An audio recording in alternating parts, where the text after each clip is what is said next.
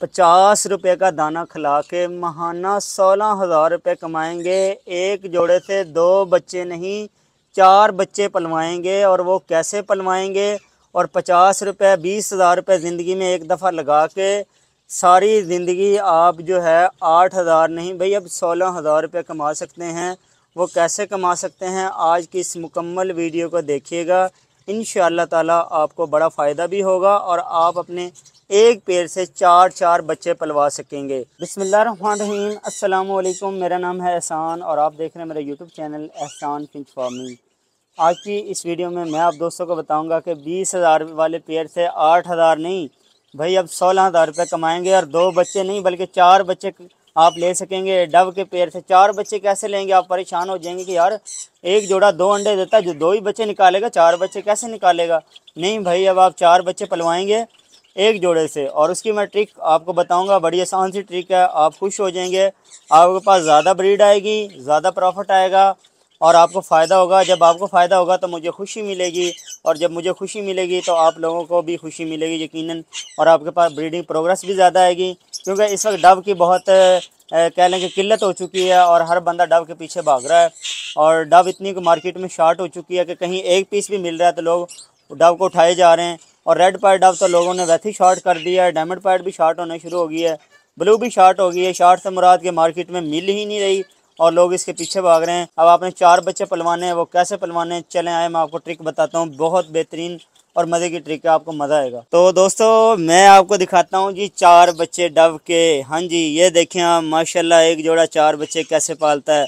जब जोड़ा छन्नी से बच्चे नीचे उतर आए और बच्चे, यानी अंडे से बारह दिन में बच्चा बाहर निकल आता है हाँ बच्चे कैसे पलेंगे? ये नहीं कि आपने दो अंडे दिए हैं, आपने किसी के दो अंडे उठा के इसके नीचे रख दिया आपने कहा जी सान भाई की वीडियो देखी, चार बच्चे पलेंगे। नहीं, जब दो अंडों से बच्चे निकल आए और बच्चे निकलने के बाद दस दिन के अंदर, आठ दस दिन के अंदर बच्चा छनी से नीचे जंप कर जाता है, जब बच्चा माँ बाप के पीछे भाग के फ़ीड ले रहा हो, उस दौरान आपने क्या करना है कि दो, इस जोड़े के बच्चे और दो दूसरे जोड़े के बच्चे हैं तो आपने क्या करना है कि दो बच्चे वो पकड़ने हैं और दो बच्चे इनके लेने हैं, जो इसी जोड़े के दो बच्चे वो उनके साथ ही रहने देना और दो उनके उस जोड़े के लेने जो आपने फ्री करना है।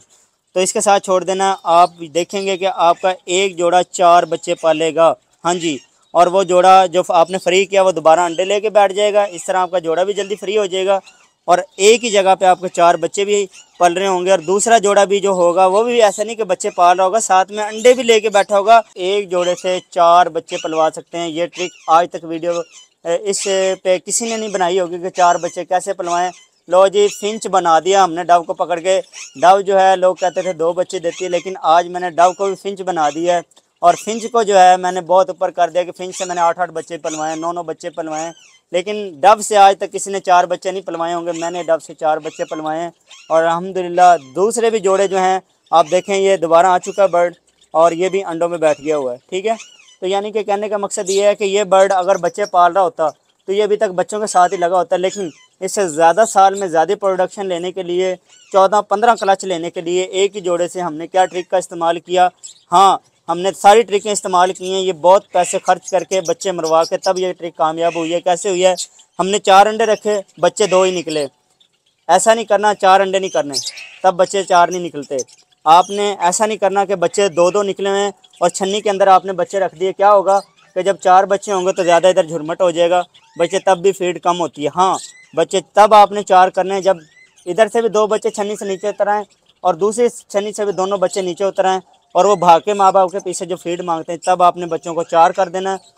फौरी ये जोड़ा भी अंडों पे बैठ जाएगा और वो भी अंडों पे बैठ जाएगा और इनको फ़ीड भी होती रहेगी चार बच्चों को। तो ये जो ट्रिक है, बहुत बेहतरीन है, आसान सी ट्रिक है। और इसमें कोई मुश्किल नहीं है। मैंने आपको बड़ी डिटेल से समझाया कि हाँ जी, अब आप इस कारोबार से डबल मुनाफा हासिल कर सकते हैं।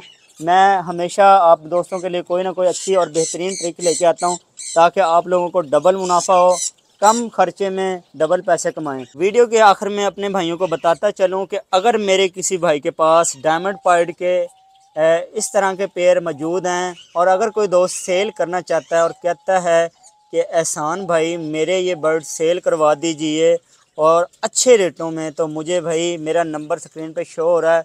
आपके पास डायमंड पाई डव है, जावा है, गोल्डियन है, रेड पाई डव के बड़े जोड़े हैं या बच्चे हैं, या जावा के बड़े जोड़े या बच्चे हैं, स्टार फिंच है, आउल है और इसके अलावा जैबरा की मुटेशंस हैं। कोई भी बर्ड मौजूद है, आप लेना चाहते हैं या आप सेल करना चाहते हैं, नंबर मेरा स्क्रीन पे शो हो रहा है।